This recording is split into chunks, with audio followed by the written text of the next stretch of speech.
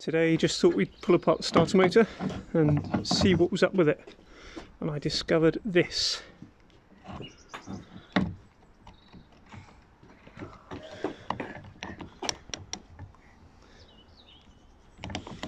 Don't think it's so good anymore. Don't know uh, exactly what's not right, but something is not right. It still rotates, I think. Maybe it doesn't. Uh, well, toast anyway, I think.